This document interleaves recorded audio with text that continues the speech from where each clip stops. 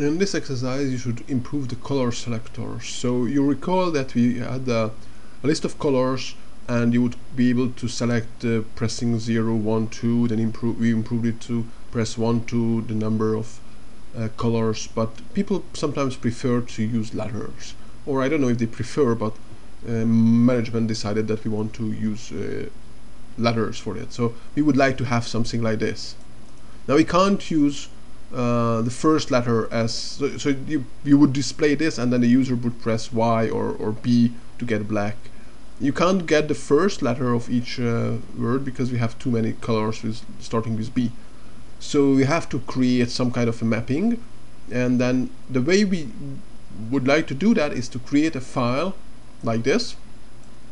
You have you have the color the first character and then somewhere later on you have the letter that that's need to be used and then use this for the menu.